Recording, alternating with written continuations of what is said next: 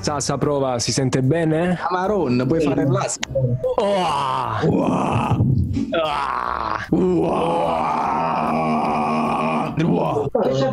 Amici, buonasera. Questa sera abbiamo un ospite di eccezione, un ospite che fa i sordi goppa internet, un ospite Eh. che ha trasformato il fare memini in napoletano In arte. In arte, ah, in situazioni simpatiche e sicuramente non a scopo di lucro perché ma fate fam. Ricapitolando, qui con noi questa sera Alessandro Sepe, l'admin di Neapolitan Fresh, Neapolitan Fresh Memes. Memes o memes, Alessandro? Ma io dico memes perché è come dire HDMI al posto di HDMI oppure HDMI, quindi a noi le vie di mezzo non piacciono, diciamo Neapolitan Fresh Memes. Bravo, noi siamo eterosessuali. Ah, sia- bravo, bravo.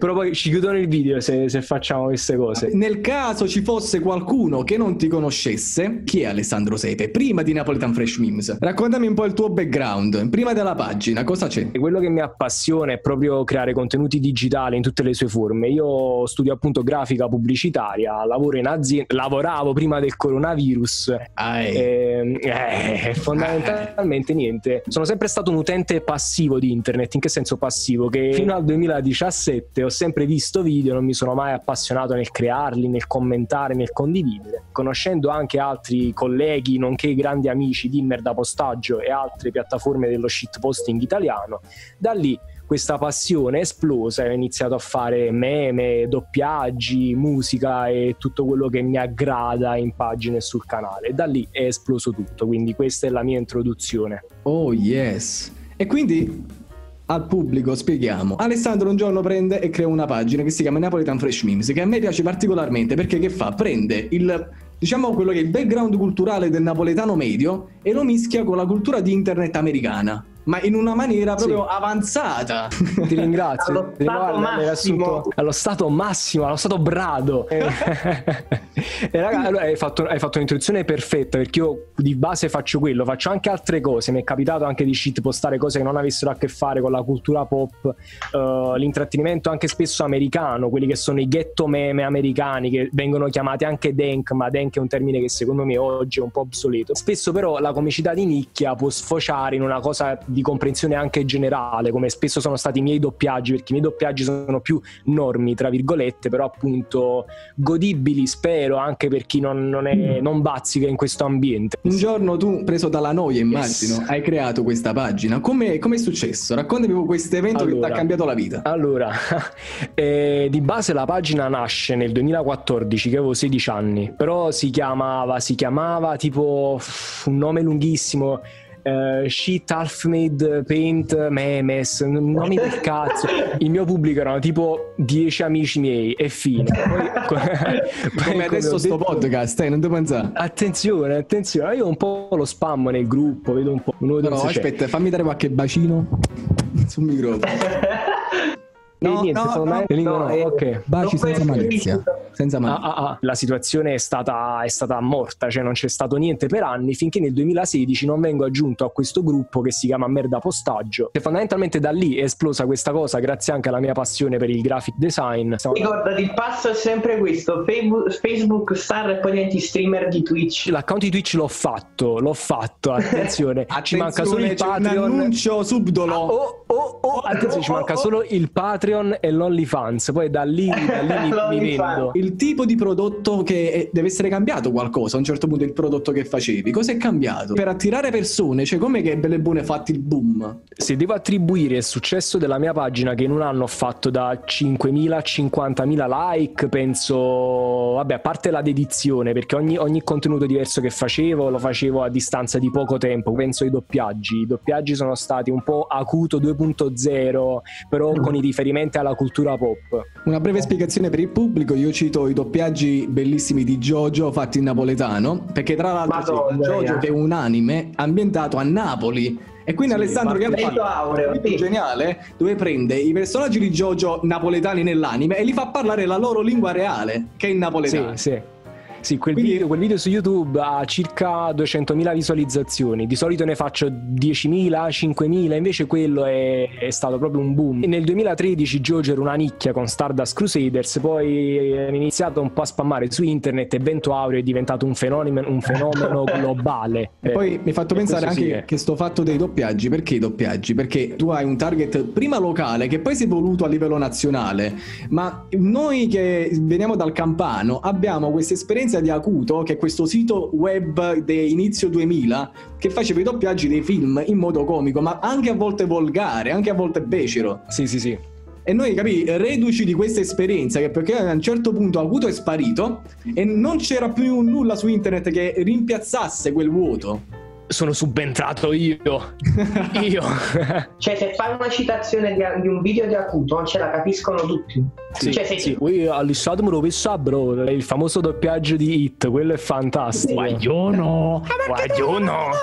Poi comunque volevo aprire e chiudere una piccola parentesi. Per quanto Acuto sia una leggenda del... Abbiamo attribuito proprio il doppiaggio napoletano ad Acuto, io vorrei citare il grandissimo che ha creato, non so se lo conoscete, il doppiaggio di Dragon Ball Z, una famiglia di Z. Ma no, eh. Stanno chiamando a Ferdinando e non mi hanno chiamato. Stanno chiamando a Ferdinando! Guarda che bello panaro che te ne. Leggendario, leggendario. La cosa bella di questi doppiaggi è che, a parte Alessandro Siani, non si sa chi c'è dietro. Tipo, una famiglia Zingara è pubblicato da un canale YouTube che si chiama Amanda Comedy, ma non si sa chi è. Anche Acuto, e rimane un mistero chi è Acuto, cosa faccia nella vita. Sì, io penso che Acuto possa essere reperibile, non ci ho mai provato nonostante mi abbiano spinto in molti. Io contatta anche il mio migliore amico, contatta Acuto, contatta Acuto, fate una collab. Eh, Però non vorrei rimanere fermo al doppiaggio, quindi ho lasciato passare la cosa, poi magari appunto Acuto è sparito di nuovo, quindi aspettiamo il ritorno del Bate per, per decidere. Del maestro.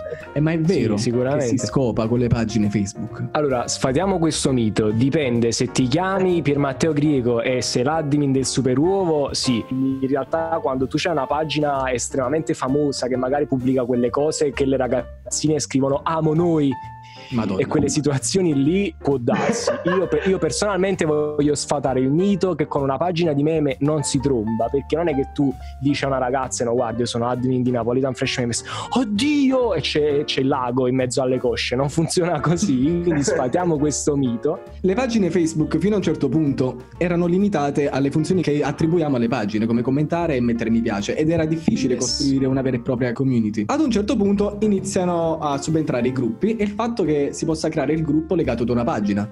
Io mi ricordo quando hai aperto il gruppo, perché io seguivo la pagina e ho visto il gruppo di Neapolitan Fresh Memes, che si chiama Neapolitan Fresh Group, giustamente.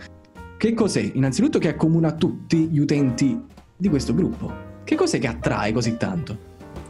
Ma il nome della pagina, sicuramente, non te lo nego, ogni giorno io rifiuto richieste di gente che non risponde alle domande oppure scrive Pastorizia Never Dies come pagine preferite di meme, il Super Uovo, Alfa Woman, io là mi rifiuto, però ovviamente cose che accomuna tutti da un punto di vista proprio dell'intrattenimento, è la, la cultura pop, internet, eh, semplicemente abbiamo tutti questa grande passione per l'intrattenimento e nell'usare internet nella maniera che a mio parere è più consona e utile, ossia quello di pariare. Comunque, Da pariare. Sa da pariare, fratelli. e questa è, è la cosa che ci accomuna, sì. Ci sono degli step particolari che hai seguito per la creazione della tua comunità? Il mio obiettivo primario era quello di fare un- racchiudere tutte queste persone in un solo gruppo, soprattutto di farmi aiutare in pagina con i post, eh, creare discussioni interessanti e da lì è nata tutta una situazione che io ritengo la ciliegina sulla torta del mio percorso perché io nel gruppo, nonostante faccio il cane mastino, perché io veramente faccio il cane mastino la sola tipo no, fra, hai, hai postato una merda, io te l'elimino. No, fra, leva sta merda, leva sto cringe, questi fatti qua, però Ah, controllo qualità. controllo qualità. Però a volte, a volte un po' eccessivo, dai. Infatti, quando mi sfottono, io mi, mi lascio sfottere. Ed è anche bello, tra l'altro, il fatto che in una comunità online non ci sia più il fatto che diciamo, l'amministratore e il creatore di questi contenuti sia una sorta di, come mo ci vuole come acuto, una persona capi, quasi irraggiungibile perché eh, tu non sai chi è, non interagisci direttamente con lui. Invece con la creazione del gruppo e col fatto che tu ti poni allo stesso livello dei tuoi utenti, si crea un'amicizia virtuale che poi è molto bella. Sì, sì.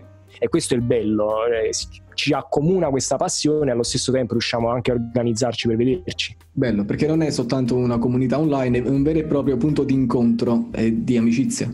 C'è una cosa odiosa che si chiama il freebooting.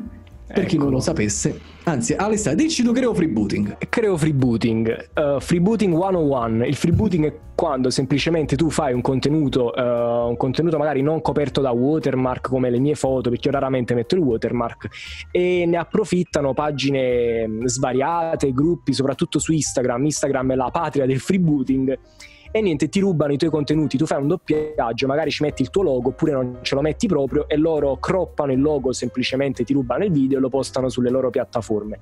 Per chi, per chi fa questo per vivere, per guadagnare, il freebooting è un, un cancro, è proprio una cosa che, che, ti leva i soldi. Fino a un anno e mezzo fa, due, io contro il freebooting mi incazzavo, dicevo raga guardate questo, ha, pubblicato il mio video su YouTube, raga strikatelo, abboffatelo di, di spammatelo, adesso invece. Vabbè ma ci sta, ci sta ci sta. Però adesso sti cazzi, io tutto quello che faccio lo faccio per una mia fanbase che ormai è, è, è comunque solida, è estremamente solida. Quindi a me del freebooting adesso me, me non devi dimostrare niente a nessuno. La cosa bella di avere appunto una, come ci vuole, un'utenza fedele è che quando qualcuno nota che è avvenuto il furto di materiale, sono i primi che commentano sotto a, appunto alla pagina Instagram che si dicono guarda che sta roba l'hai rubata da questa pagina e ti, esatto. ti linkano sempre. Quindi alla fine anche indirettamente c'hai chi ti tutela la tua utenza. Sì sì sì ehm, sì loro sono molto calorosi affettuosi. Oh fra guarda che tana signor Neapolitan.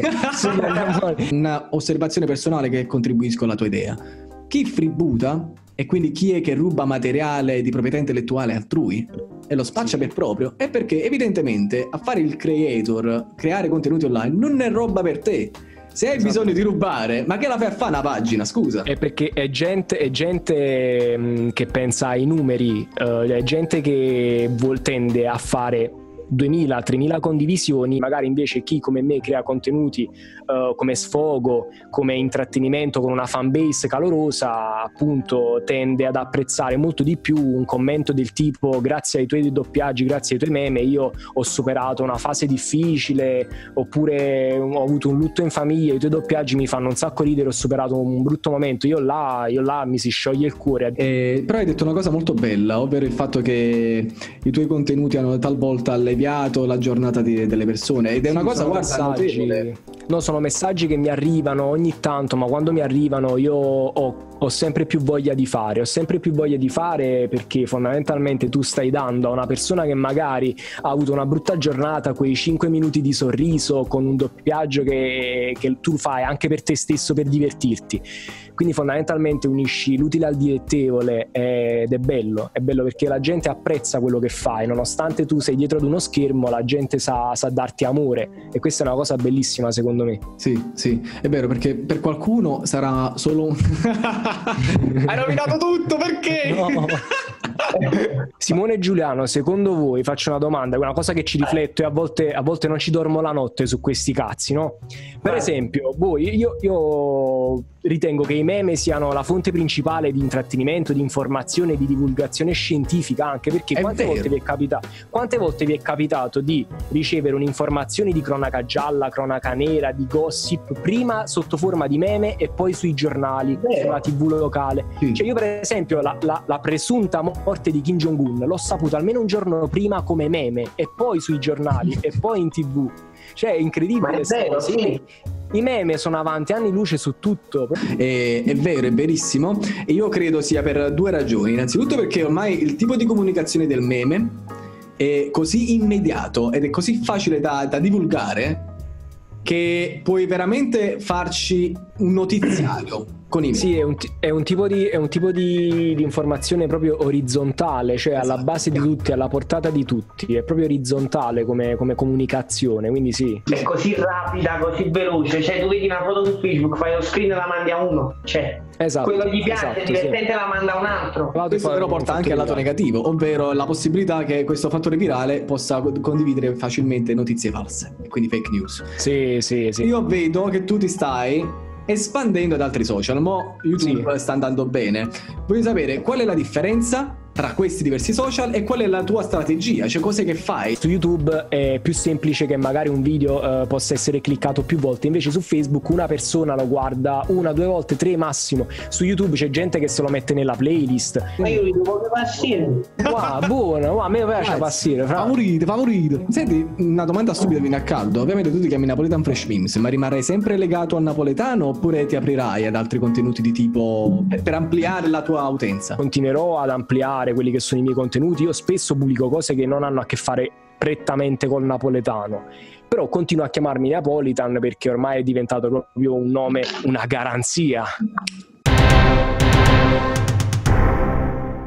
web ma che non sei? battiti nel cuore non, la... non l'avevi ah, fatto mai. ma tu no per aver poi creato tutti questi contenuti hai dovuto per forza di cose studiarti il ceto basso della, della civiltà napoletana?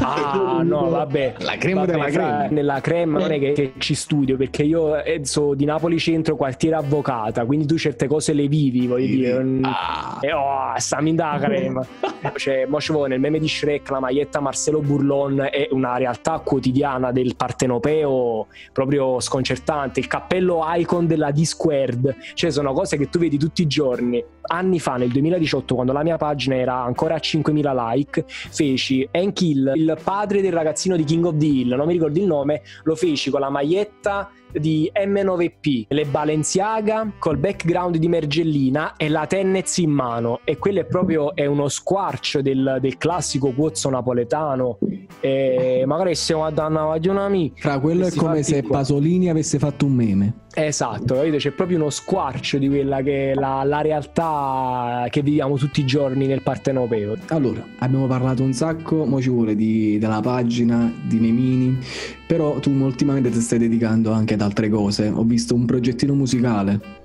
Sì, il mio mixtape gratuito bootleg che consiste in uh, anche un doppiaggio che feci, che è un doppiaggio musicale del Donkey Kong Rap per Nintendo 64. L'ho riproposto in napoletano, uno dei miei doppiaggi più apprezzati, che metterò poi in download gratuito. Cioè io sono, sono quel classico ragazzo che quando si è, tra, si, si è in gruppo la sera, eh, si mette una strumentale, si mette a fare freestyle, però per non cagare il cazzo lo faccio appunto in maniera ironica. Stai facendo paradossalmente, non so se ti rendi conto, ma un po' con l'escalation che ha fatto il, quello che oggi è Joji, Filthy wow, Frank, quanto, il dio de, de, de, dei meme politicamente scorretti. A un certo punto io, ho deciso esatto. di fare un album comico. Pink guy, Pink guy, Pink guy. Assolutamente, gente quando la gente mi ha scritto fra ma tu ti mi sangaba che avevo Filthy Frank napolitano. Io gli ho detto, ho messo Lob wow, molta gente critica Joji, critica l'artista che c'è dietro Filthy Frank perché Oh, infatti, che tu hai abbandonato il tuo personaggio, hai abbandonato Filthy Frank, Pink Guy, Safari Man, tutto quell'universo canonico. Tu lo hai abbandonato per una carriera musicale. E beh, che ci stai male? Hai lasciato a internet un, un, patrimonio culturale. Vuoi aprire questa parentesi su, su George Miller?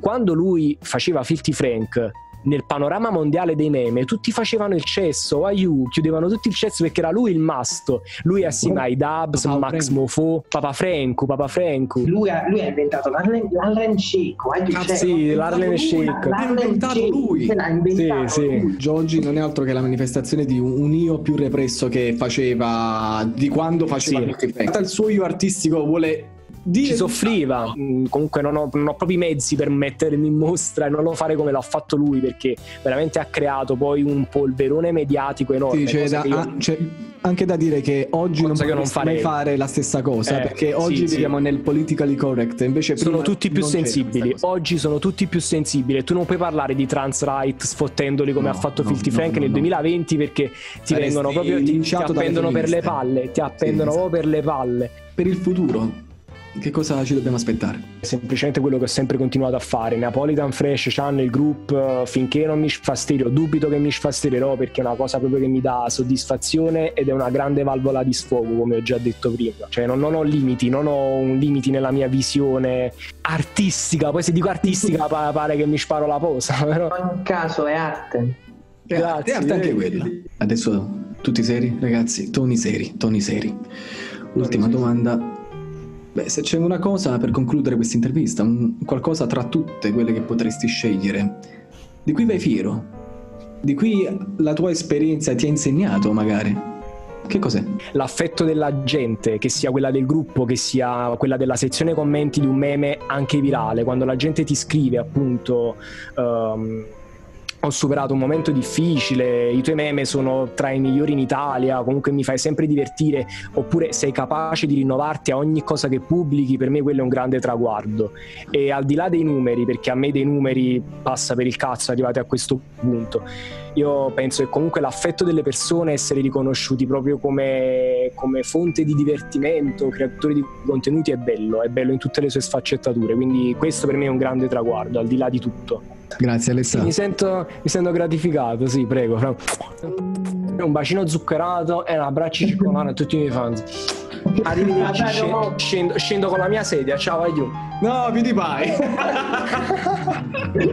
è andato via. Eh. Giulio, un pezzo che tornerà. Vabbè, Giulio, allora, con, con Alessandro giù nello scantinato ci salutiamo.